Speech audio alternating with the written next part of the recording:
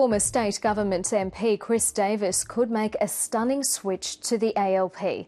Dr Davis quit the LNP and is talking with Labor about next year's election.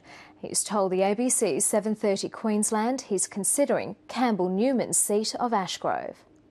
The resignation of Chris Davis forced the by-election that gave Stafford to Labor with a record swing. In an extraordinary twist, the unconventional former LNP member may contest the Premier's seat of Ashgrove for the ALP if Kate Jones decides not to. I believe the people of Ashgrove have the same values and expectations as the people of Stafford. So that's why, that's why there is a natural affinity, I believe, um, between what I did in Stafford and what I could potentially do in Ashgrove. The news caps off a difficult week for the government. The huge loss in Stafford prompted an apology by the Premier and some policy backdowns, followed by a couple of unflattering opinion polls. Although the Treasurer is staying upbeat.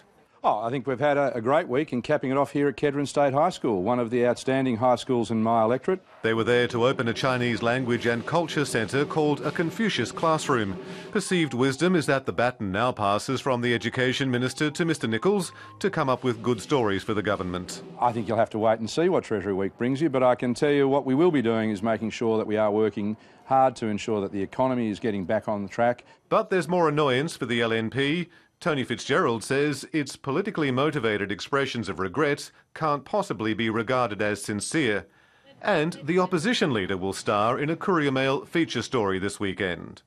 Having spent the week reacting and repositioning, the government next week will want to get onto the front foot.